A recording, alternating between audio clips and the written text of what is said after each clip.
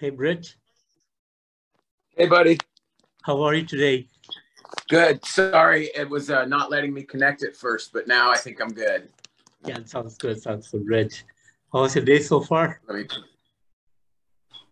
Pretty busy. Just uh, doing a bunch of band stuff in the morning. Um, got a bunch of tours we're announcing, so it's uh, been pretty busy making sure there's so. Sorry. Oh. There's so many. Um, there's so many details of uh, when you're announcing tour dates. It's uh, Yeah, yeah. you know, you got to get all the ticket links and make sure everything's good with the promoters and everybody's announcing at the same time. It's a lot of a lot of stuff going on. So it, it- it's Yeah. busy work, but it's fun. sounds good. Sounds good, Brett. Sorry, So- let me. Uh, there we Yeah. go. My camera, fell, my camera fell over. There we go. So, anyways, yeah, just been a busy morning. We're announcing a bunch of tour dates. So, um, yeah, just a lot, a lot going on. Sounds good. Sounds good, Brett. So, Brett, March 25th, you're releasing your self-titled album. So, can you tell me a bit about the making of the album, the songwriting, and the production behind this new album? Yeah, I mean, obviously, it was a completely different experience this time because we have a brand new singer. So, um, you know, it'd been a long, it's been many years since we had uh, different singers in Ignite. We started with a couple different guys, um, but yeah, we got really lucky. We found this really cool guy that um, that we really just get along with on a personal level, and I think that's really so important when you're trying to do anything creative. Um, you don't want negative distractions. And uh, it we just really clicked with him very quickly on a personal level. So you know it was right as the pandemic was starting we were looking for a singer which was also crazy. Um, and you know we just made a, a deadline for uh, ourselves in ignite that we're gonna by the end of 2020 we're gonna find a singer. And we did. And then we just kept setting more and more deadlines. Okay we need to have 30 songs written. Okay now we have 30 songs. Let's turn it into 15 songs. Pick the best ones. And we just kept making these deadlines and we kept achieving our goals and we really wanted to be in the studio um, by june of 2021 and we were and it was amazing. So we worked with the same production team that we'd worked with on the last two records. Actually the same guys we've been working with for 20 years. So that was a very comfortable feeling.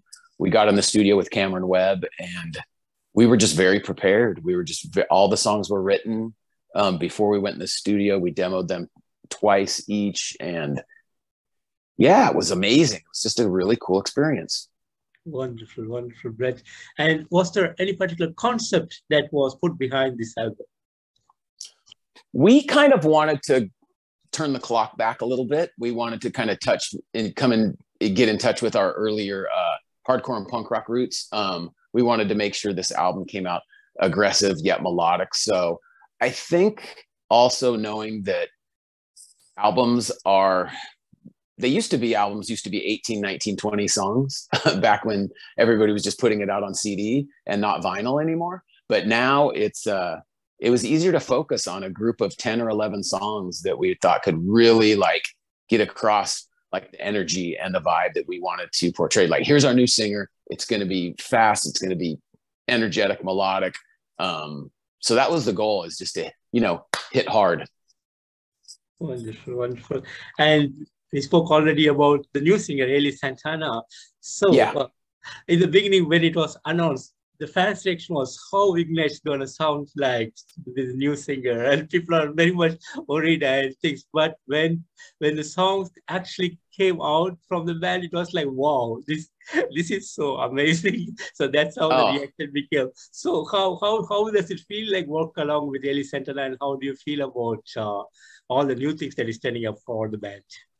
it's great. I mean, it's just you know we just working hard, working together. We were actually in this in the studio yesterday working on some new material already because it always takes so long to record and then put an album out. So we're already working on new stuff for the next record. Um, it's just positive. It's just fun. It feels like how it was when we started the band. You know, when you when you're together for so long in a band there can always become distractions and there can always become negative things but this is just really refreshing now it's like it feels like how it was in the early days for us. And that's the biggest, biggest, biggest thing for me is that it feels the feel is the feeling is just really good and it feels like the early days. Wonderful, great. And uh, is there any plan for March 25th on the day of the release? There was a plan, but we all know that COVID likes to change the plan. So we were supposed to be in Europe um, for the release on this uh, really cool tour with a bunch of bands, and that got uh, pushed back. So we're trying to figure out a cool event to do on the release day.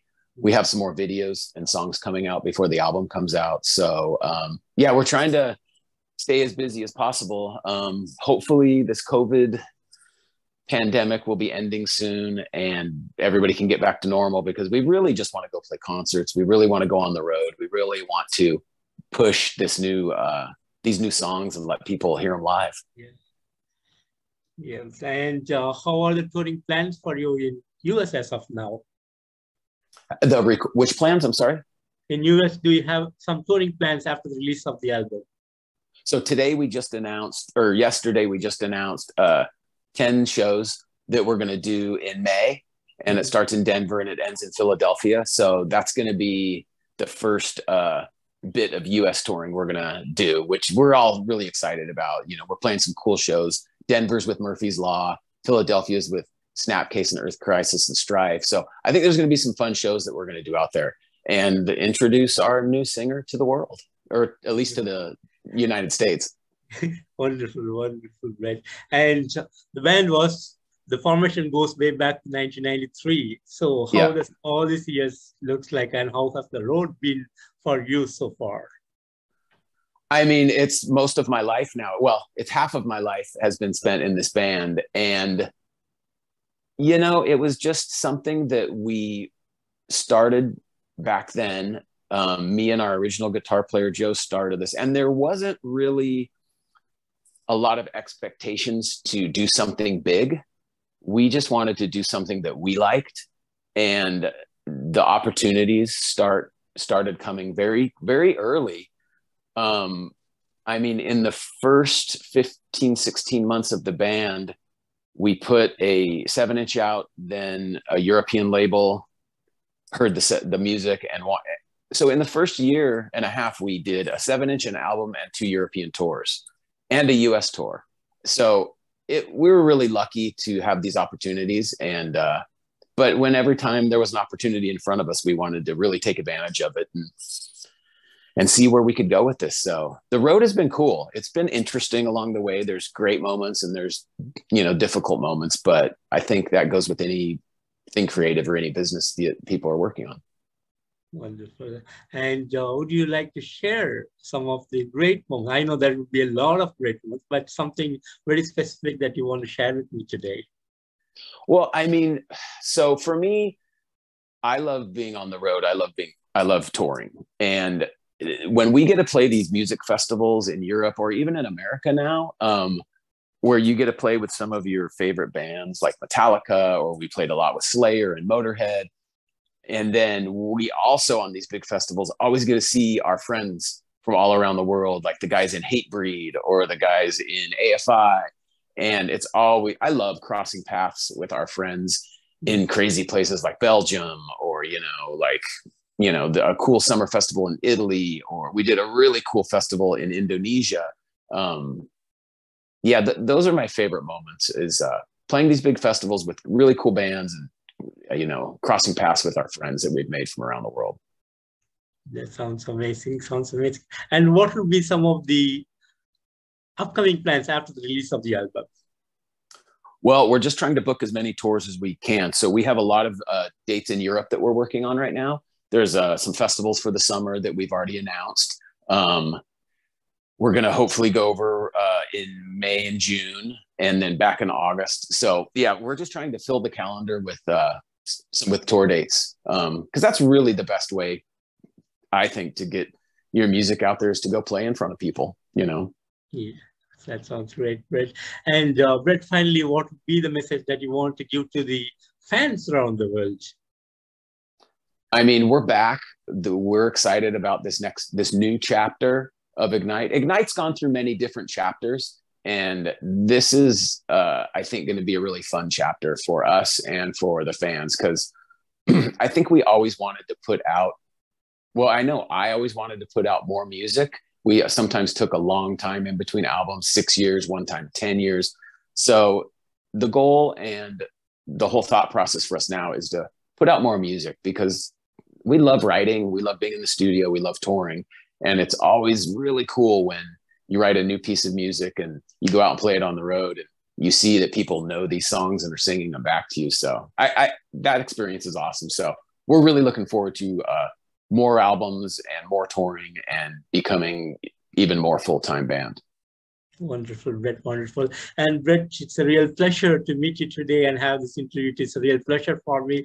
And thanks for making the amazing music for decades now. It's a real pleasure listening to the band and to you guys. It's a real great uh, moment and uh, journey of music to through your through you guys. So that's totally awesome. And thanks again for this interview, Brett. It's a real pleasure for me. Thank you very much. Have have a have a great day. You too, Brett. Take care of yourself. Bye bye. Okay, bye.